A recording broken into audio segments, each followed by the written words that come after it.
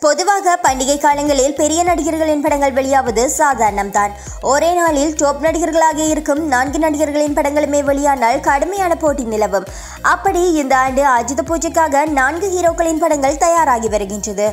விஜய் வாரிசு படத்தை தொடர்ந்து தற்போது தளபதி சிக்ஸ்டி செவன் படத்தில் நடித்து வருகின்றார்.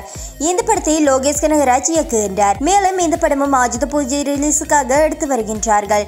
அதே அஜித பூஜைக்காக அஜித்தின் ஏகே சிக்ஸ்டி டூ படமும் தயாராகி வருகின்றதாம்.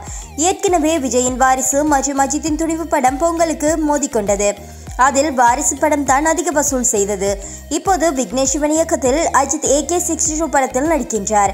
மேலும் அஜித் விஜயின் படங்களுக்கு போட்டியாக மற்ற டாப் இரண்டு நடிகர்களின் படங்களும் வெளியாகின்றது.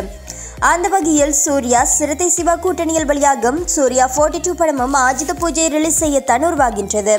இந்த படம் த்ரீ டி அனிமேஷனில் உருவாகி வருகின்றது. அது மட்டுமின்றி சூர்யா 42 டூ படம் பத்து மொழிகளில் எடுக்கப்பட்டு வருகின்றதாம்.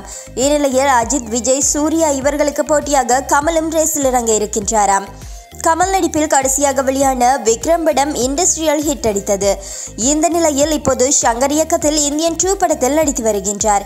இப்போது இப்படத்தின் படப்பிடிப்பு விறுவிறுப்பாக நடந்து வருகின்றது. இந்தியன் டூ படமும் ஆஜித பூஜை ரிலீஸ் செய்ய படக்குழுவினர் முடிவு செய்துள்ளதாம். ஆகையினால் தமிழ் சினிமாவில் டொப் ஹீரோக்களாக பார்க்கப்படும் இவர்களின் படங்கள் மோதிக்கொள்வதால் சரவடியாக இருக்கப்படுகிறது